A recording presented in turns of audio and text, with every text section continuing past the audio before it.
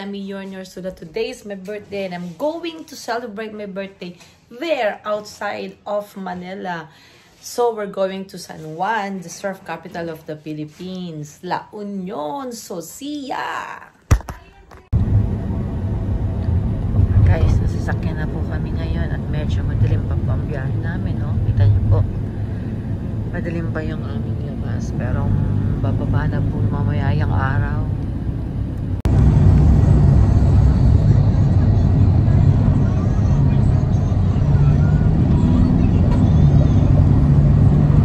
Yan, kinukulit ako para magising. Excited na ako. Gusto ko na makarating at ah, mag-dive na ako sa tubig. Echo.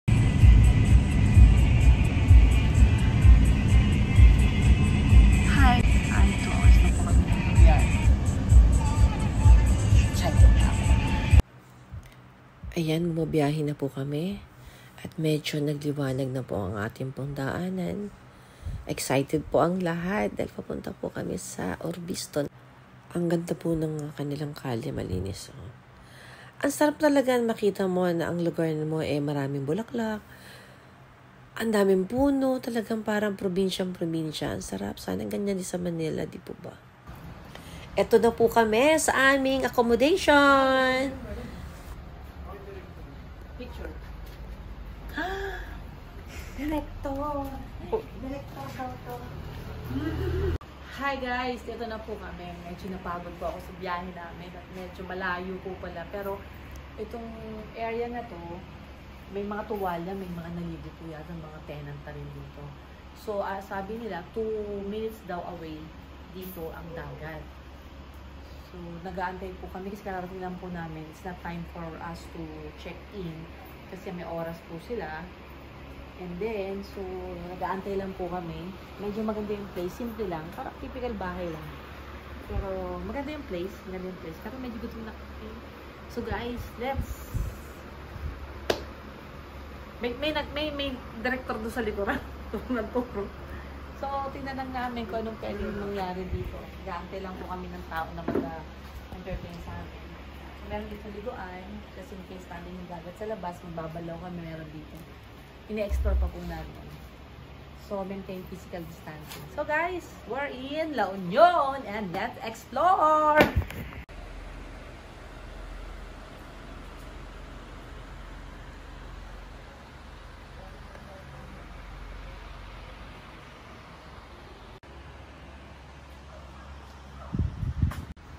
Nag-aantay lang po kami. Hi guys! Ito na po kami sa area na kung saan po kami mag-stay for 4 days at naghihintay lang po kami ng taong mag-entertain sa amin which is wala pa, which is nagugutom na ako. So nag-aantay po kami. Pinabili ko po yung dalawa ng rice kasi we have adobo na I cook sa Manila. So we're just waiting and I'm excited to tank and to jump over the water. Guys, ito na po. Nasa loob na po ako ng aking room. Hindi ko na-expect na malinis talaga siya. Promise. Ituturo ko po kayo. It's just a simple, but I like it. You know, very province banda thing. So this is double deck made of wood. This is bigger than that one. So later ko papakita. So maybe dito, dito na lang siguro si na Jariel. Ito, this is empty. Dapat kasama ko si sister ko pero tumanggi siya. So, ikot tayo dito. Ito yung pinaka-bed na isa. This is the other one. Sensya na nilagay ko po yung aking water dito kasi oh, na po ako kakain lang po namin. So this is another one. This is single. I think I will stay here. I'm fine here. And this is another empty place, empty bed. So it has stairs and it has aircon and nice start kapag kakagawa ng pinaka pinaka lights nila. Then meron ditong door. Ay, sorry, meron ditong table na I can put my my bags. Actually, mga pagkain dito actually. So tuturo ko ito it has uh, carpet. And then napansin ko, guys, terno lahat yung kanyang mga ano ba to ginawa naman nili, niliguan ng alcohol. So terno yung kanyang mga unan at saka dito. So wow. Not bad, not ako. So dito naman sa banda to, near the door, meron dito yung mga, syempre, pagising mo, paano maganda yung pakiramdam mo. Ayan, it has plants, they give us tissue. Ito yung area na you can put all your things. So, nandito lahat ng things. Pero lang yung sa things ko kasi may naayos lang po ako doon. Then, oh, it has, that there is a smoke detector. May curtain. Ah, meron doon ano, meron doon na painting sa taas. So, maganda ano, maganda to. Pero dyan na lang ako, dyan kayo. Hechos. Tapos, punta tayo, ta, guys, punta tayo dito. Ito yung aircon. Aircon na controller. Punta tayo sa banyo. Ito. Ito napansin ko maganda to. Ayan o. May exhaust fan siya. May shower. Ang linis ng banyo. Kulay blue. Tingnan mo, oh, ang linis ng banyo. Ang linis ng banyo to. Actually, ang linis ng banyo. Ang linis ng bowl. Alam mo naman, medyo tearts ako sa ganyan. Tapos, blue ang motif niya. So, please conserve water. So guys, I'm happy and kakatapos namin mag-lunch and papahinga lang kami and we will explore. See ya! Hi guys! Ito po, naglalakad na po kami pamunta sa beach. Kung makikita nyo, ayun, nalesa na ba kami? Ayun! Yun ang beach. So, tapat halos lang konti lang. One minute away lang ang lakad namin. Ayan, may naliligo na.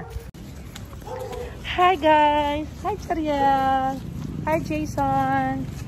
So, papunta na po kami sa pinakadagat proper. Pero magpapa-reserve po kami sa Kabsat daw. Kailangan pa magpa-reserve sa restaurant. Which is my birthday today. Titreat ko itong mga bata. So, how's my attire, Captain Barbel? okay naman, di ba? Approve? Wow! Ang ganda ng dagat, guys. Oh, ang sarap ng umaga. Kami po, ayan, tumataas na naman. kami po ay papunta sa Kabsat. Galing kami a while ago sa water. So, kailangan daw mag-book bago kami makapag-dinner. So, nag-ride po kami sa tricycle. So, see ya, Kabsat! We're here at Kabsat! So, check natin, ha? Sikat daw tong Kabsat na to. Please wear your mask. Ay, kayo na mag-ano, mag-register. Po na lang ako, birthday ko eh. Sarap kayang nakaupo na lang. Hindi na ako gagalaw. Basta dulutan nyo na ako ng pagkain at upo ko. Rain na ba? Ayan. Nakagdadang-rehistro na yung dalawa. Sige, pagod-pagod din minsan. Ayan, pakyut pa ang inyong nurse, Trulala. Siyempre, katabi ko si Jariel at saka si Jason. At we're about to order. Ang anak ko ayaw magpapakita kasi mahiyahin po talaga siya. Takatawanan na kami kasi nga nahiya siya. O, ayan, gigil-gigling. O, ayan, sayaw-sayaw pa. Ang ganda ng, ang ganda ng ulap nung time na yun nagpunta kami dito.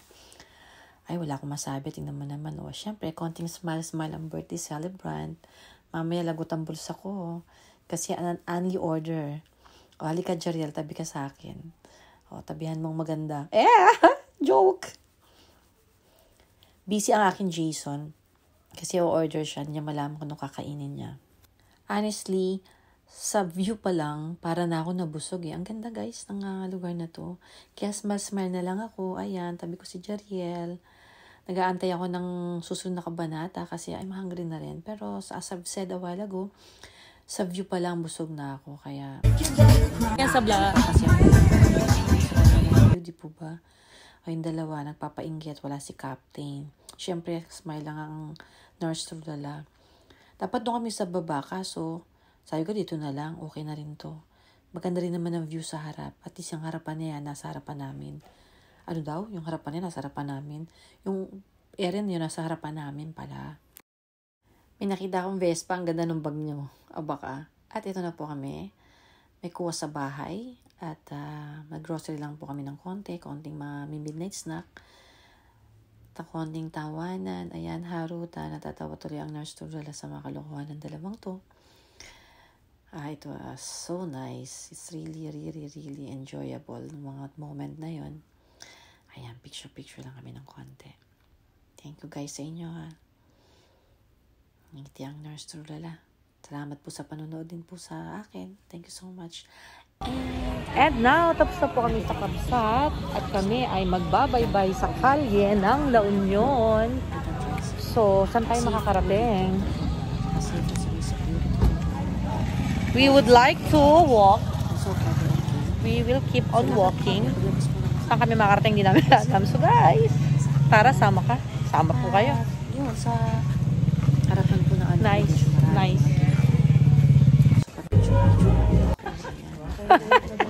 So na guys, pauwi na po kami. Inaasar ako ng dalawa, oh. pala ito. Pauwi na kami, naglalakad kami kami 7-Eleven. Nagkakatawa Nagkakatawa lang kasi yung inaasar ko sila. Pwede bang, tsaka ako naibayad yung maganda. bayad ko sa, sa accommodation. syempre, probinsya Oo, sabi mo bukas ulit.